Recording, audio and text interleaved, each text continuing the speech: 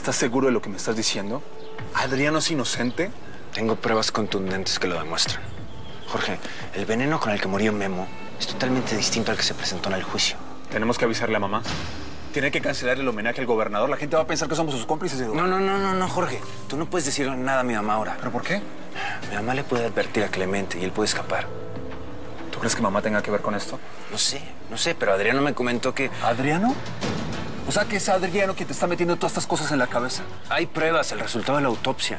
¿Qué diablos te pasa, Eduardo? ¿Cómo puedes creerle a Adriano? Seguramente esas pruebas son falsas. Probablemente Adriano y Blanca te están manipulando de nuevo.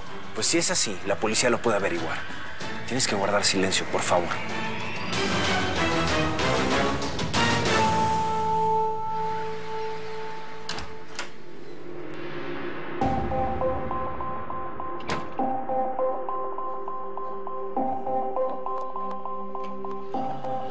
¿Cómo me veo? Despampanante.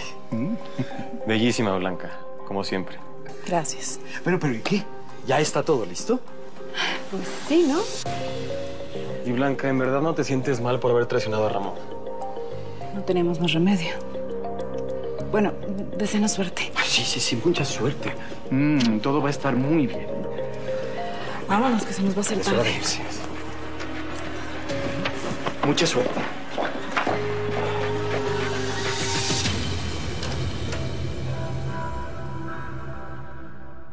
Estás loca. Mira, Rafa, por favor, quédate. No tienes a dónde ir, quédate conmigo. ¿Para qué?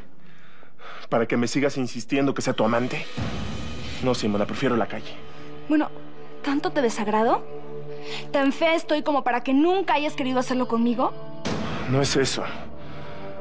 Yo no quiero que comiences a trabajar de prostituta. Hay otras alternativas. Ay, sí, ¿cuál? ¿Vivir pobre y miserable para siempre?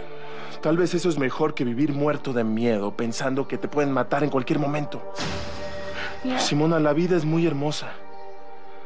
Créeme que cuando está la posibilidad de que te asesinen, la valoras. estás exagerando. Raquel Altamira puede matar a Blanca.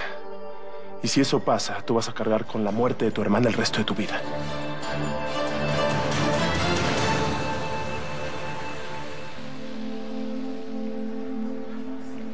¿Todo bien, tía? Sí, hija. Sí, nada más le estoy pidiendo a la Virgencita por, por tu primo.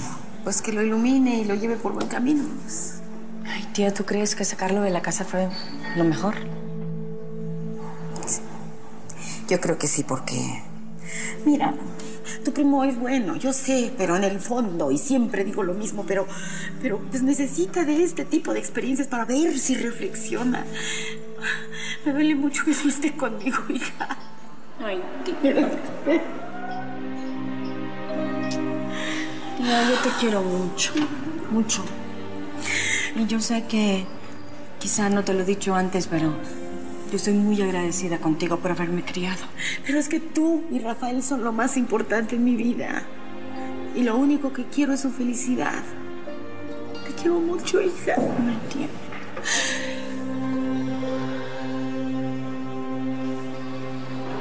Está bien. Los policías van a estar aquí mañana a las 8 en punto. Por favor, Adriano, si vas a regresar a la cárcel, trata de cambiar tu estrategia. No sé, ten buen comportamiento, sé servicial, disciplinado.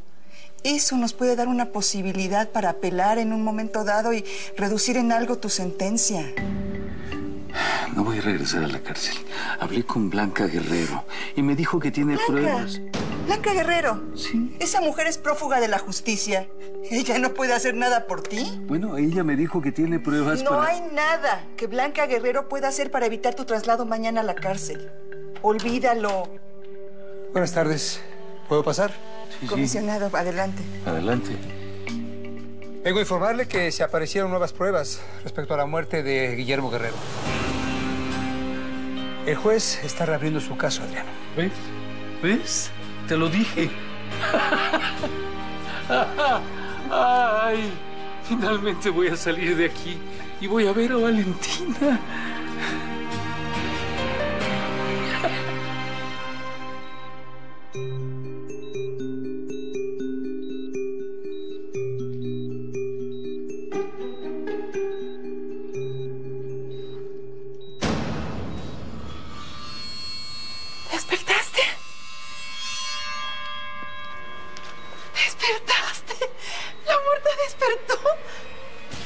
Valentina. Valentina, ¿estás despierta? Valentina.